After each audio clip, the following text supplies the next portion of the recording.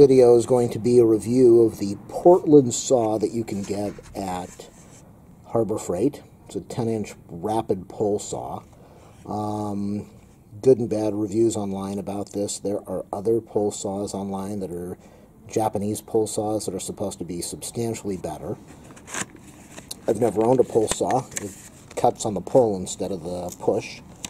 So we're just going to do a real quick review, test, and see how it works if I can get it out of the package. Um, comes with a protective cover, 10 inches long, and steel blade, 15 teeth per inch, and that's what I'm looking for, so I can hopefully get a nice uh, smooth cut on some lumber, and maybe I'll do a test on the plywood too, I'm not sure yet.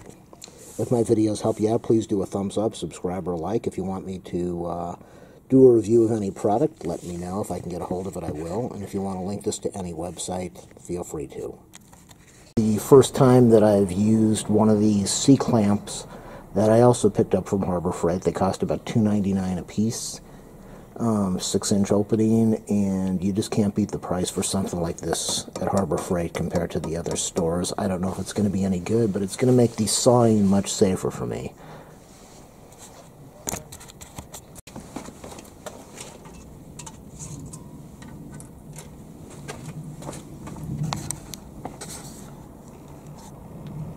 Here we go. Um, first time using a pull saw. So normally it would cut on this way, this direction, on a standard saw. But on a pull saw, it cuts on the pull. So it seems to be digging into the wood much easier than most saws. I'm going to secure this a little better.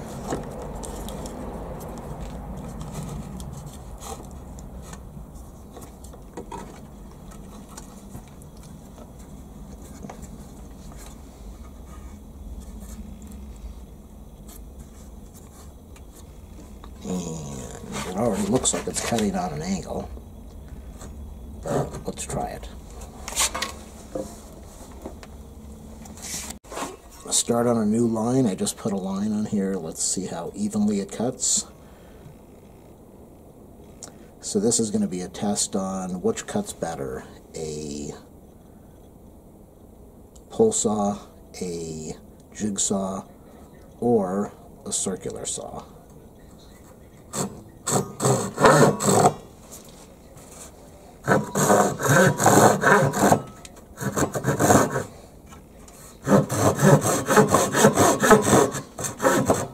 The blade is definitely flimsy.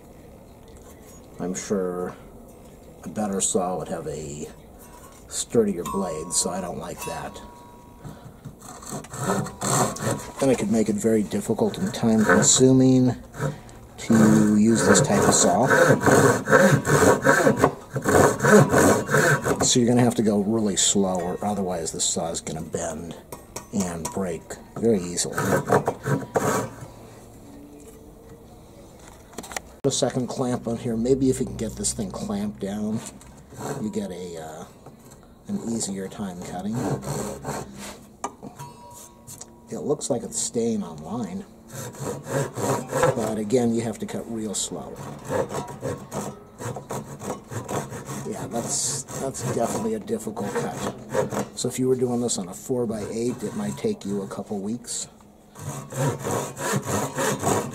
Small pieces of wood, this would be perfect. Hobby type things.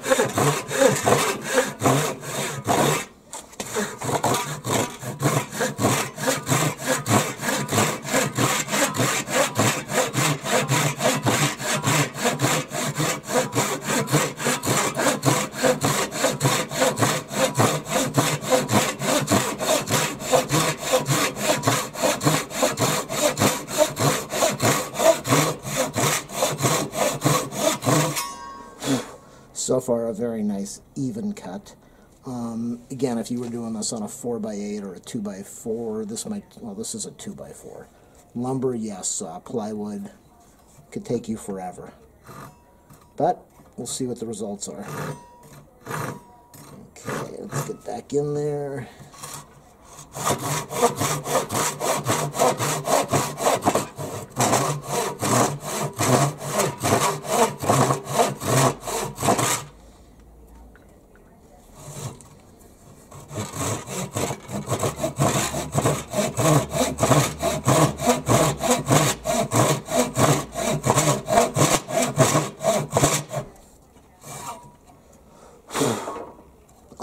Again is my big issue, but uh,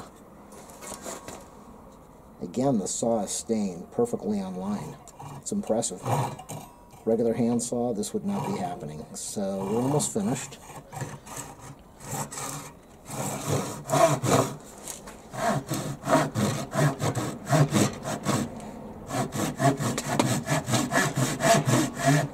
On a standard saw, this is where you end up with problems. You get to the very last piece and the last part of the sawing and the, it breaks off, it splinters off. So we'll see what happens with that.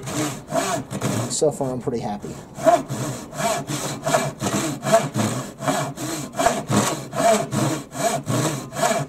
It's definitely a time consuming thing.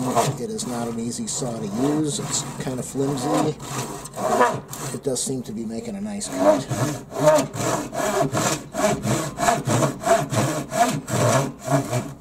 Pull, push, pull, push, pull, pull.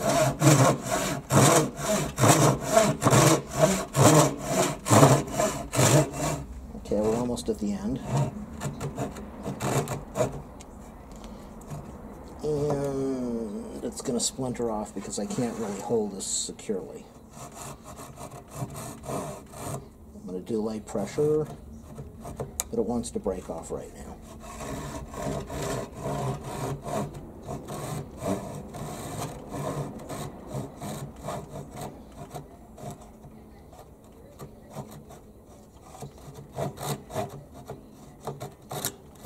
Okay, that's where it's splintered.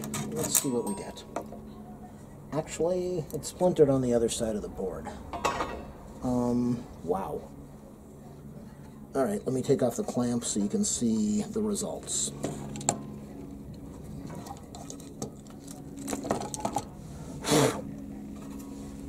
Again, this is the saw from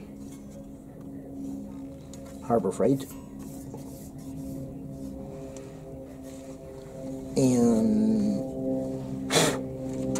Let's look at that. That is impressive. Unbelievable. I've never seen a saw cut so perfectly before. Um, perfectly smooth, perfectly smooth. Around the edges, maybe if I would have put some tape on there, a little bit of sanding. Um, look how clean that cut is. Absolutely smooth and perfect.